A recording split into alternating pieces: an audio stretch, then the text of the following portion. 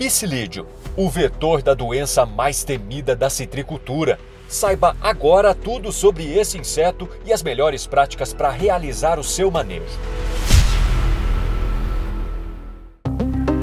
O psilídeo hoje é o grande responsável por transmitir bactérias que causam a pior doença que afeta os citros, o greening. Esse inseto pode ser encontrado em todas as principais regiões produtoras do país e por isso se tornou uma grande ameaça para a citricultura brasileira. Essa praga está presente no pomar durante o ano todo, mas seus picos populacionais se concentram ao final do inverno, primavera e especialmente no verão, quando a ocorrência de brotações é maior. Porém, como se não bastasse, em anos com maior volume de chuvas, os picos também podem acontecer durante o outono e inverno. Ao longo do tempo, o manejo do psilídeo vem se tornando tecnicamente um pouco mais difícil, né? Já é uma praga que há 20 anos nós estamos lidando com ela, fazendo controle. É uma pressão de uso do mesmo inseticida durante 20 anos. E cada inseticida é muito específico para uma fase né, especificamente. Então, tem inseticidas que atuam com mais eficiência na fase de adulto, outros na fase de ninfa, outros ajudam a, a segurar a eclosão de ovos. Então, é, isso se torna muito complexo também no, no, sentido de, da escolha dos inseticidas, né? E, e da sequência de uso desses inseticidas.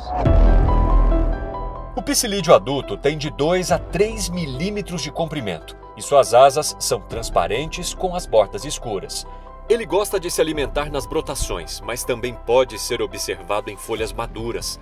As fêmeas podem colocar até 800 ovos nas folhas das brotações, ou com menor frequência na face inferior de folhas maduras.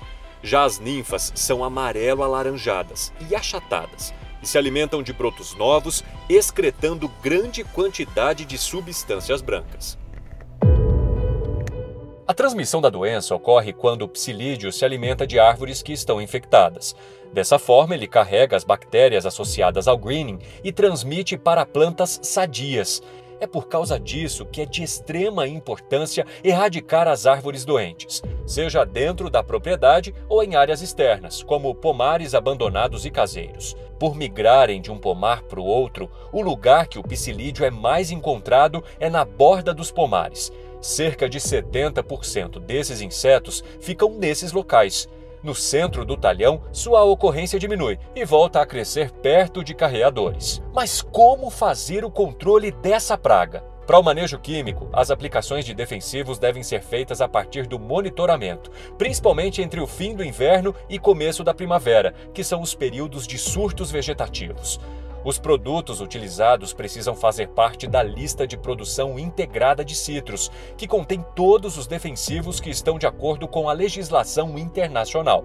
Além disso, para fazer um bom controle químico, é preciso conhecer o histórico de pulverizações na área e fazer a rotação de grupos químicos com diferentes modos de ação. Não é possível a gente é, quebrar o ciclo do inseto fazendo o controle dessas fases jovens, né? E, e, e em termos de contaminação, transmissão da doença, o adulto é o mais grave, porque ele que se movimenta, né? Ele que vai de uma. Então, se a gente conseguisse quebrar o ciclo da praga, fazendo o controle dela antes de aparecer o adulto, seria o melhor dos mundos, porque é, mesmo que eventualmente essa linfa tenha se contaminado, ela não vai transmitir isso para outra planta, porque ela não se movimenta. Quem se movimenta é o adulto. A Bayer pode te ajudar nessa estratégia. Sivanto Prime é um inseticida que atua nos diferentes estágios da vida do psilídeo, fazendo o controle de ovos, ninfas e adultos, através de um modo de ação diferenciado. Eu gostaria de destacar as estratégias da Bayer com relação a inseticidas, principalmente para a citricultura. Elas são embasadas em quatro pilares, sendo ele molhamento das plantas, sinergismo de ativos e rotação, é, transmissibilidade, talvez um dos principais, que é a quebra de ciclo da praga.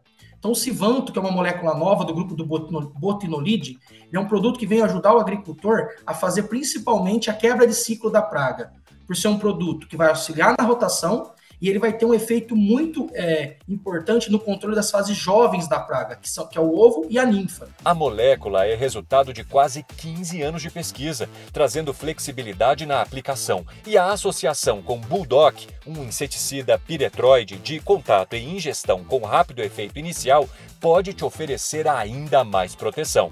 Para o manejo biológico do psilídeo, o Fundecitrus, o Fundo de Defesa da Citricultura, faz o uso da Tamarixia radiata, uma vespa que utiliza as ninfas do psilídeo para se reproduzir, matando-as no processo.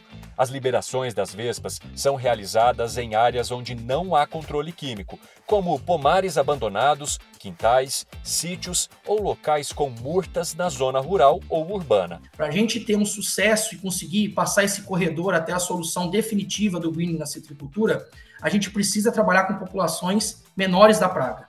E a gente quebrar o ciclo dela, controlando as fases jovens, nos auxilia nesse processo. O Impulso Negócios de hoje termina por aqui. Fique ligado no nosso canal que semana que vem tem mais conteúdo. Um grande abraço. Tchau!